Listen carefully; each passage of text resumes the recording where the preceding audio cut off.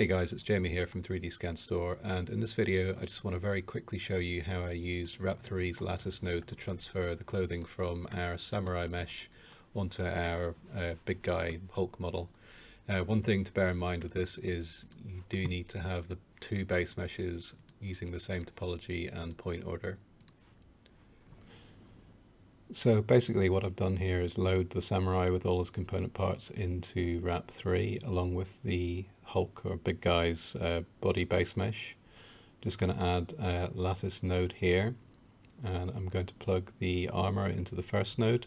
And I'm just going to set this neighbors to 200 it gives you slightly more accurate results. And now I'm going to plug the samurai into the second node and the hulk into the third node and now you'll see this actually very quickly transfers the clothing, that element of the clothing onto the Hulk. So now I'm just um, doing that with all of the uh, components, the helmet, the cloth, the masks, and just creating some save nodes.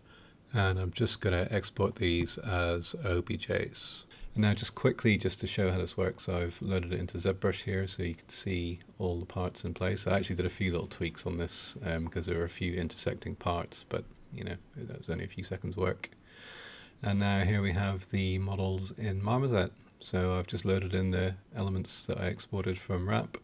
And now all I have to do is copy across the shaders from the Samurai onto the models from the uh, Wrap 3 export. Again, just do the same for the head and the helmet, and there it is, finished. A very, very quick process. Um, apart from a few little tweaks in ZBrush, this is more or less exactly how I did it. Probably took me about five minutes in total.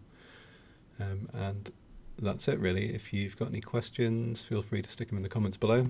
I hope it's helpful. Cheers.